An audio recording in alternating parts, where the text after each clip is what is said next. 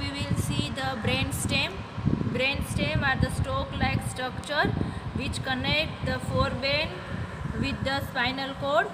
The parts of brain stem are midbrain. This is the midbrain, pons, and this is the medulla oblongata. Here we have re- removed this brain stem. So this is the midbrain this is the pons and this is the medulla oblongata. Medulla oblongata continues as a spinal cord from the foramen magnum and this is the mid sagittal section of the brain. Here you can see this is the midbrain, this is the pons and this is the medulla oblongata. So this brain stem is situated in the posterior cranial fossa and dorsally it separated from the cerebellum this is the cerebellum. Here you can see this is the cerebellum.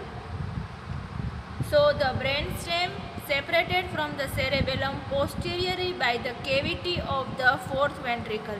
This is the fourth ventricle. So this is the midbrain this is the pons and this is the medulla oblongata. This is the cavity of fourth ventricle and this is the cerebellum. So now we see the features of the brain stem. Again i am telling the components of brain stem are midbrain pons and medulla oblongata. So this is the medulla oblongata lower truncated part of the brain stem. It continues upward with the pons and downwards with the spinal cord uh, from the foramen magnum we can see some external features of the medulla oblongata. This is the anterior or ventral surface and this is the posterior or the dorsal surface. So posterior or dorsal surface is divided into two part lower part closed and upper part is open. The upper part open part is forms the floor of the fourth ventricle let us see the anterior surface or the ventral surface first.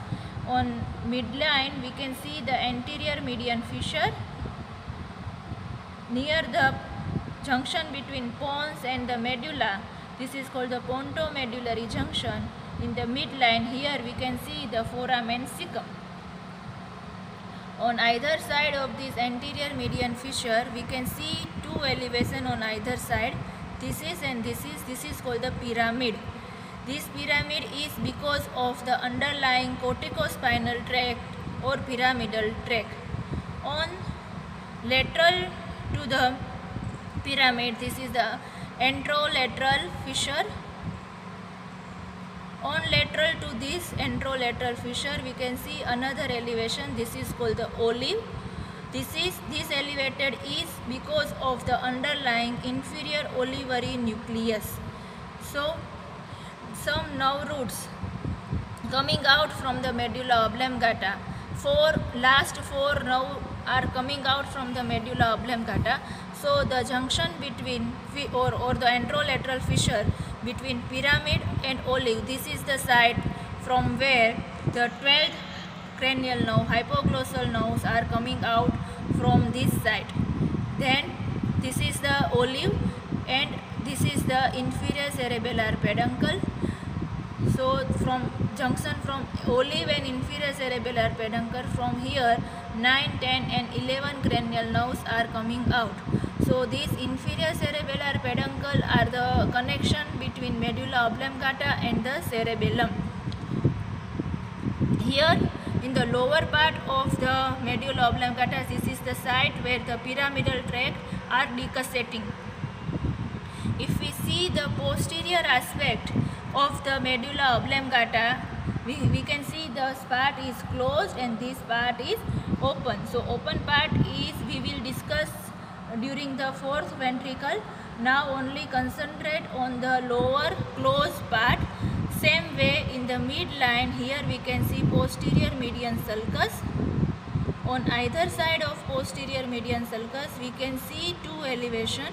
This is because of fasciculus gracilis and uh, uh, upper part of fasciculus gracilis this part it, because of uh, gracile tubercle. This is called gracile tubercle. On either side of this fasciculus gracilis, here again one elevation is there. This is because of fasciculus cuneatus. This fasciculus gracilis and cuneatus contains the tract Goll and Burdach. On uh, lateral to here, one one elevation is here. Uh, this is uh, is called the tuber cinereum this is because of the spinal nucleus of trigeminal nerve. So this medulla oblongata contains the last, last four cranial nerve nuclei.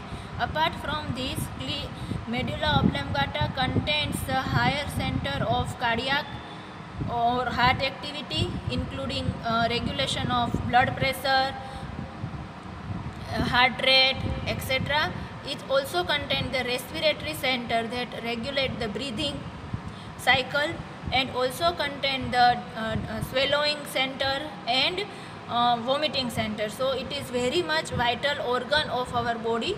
So injury to this medulla oblongata is very fatal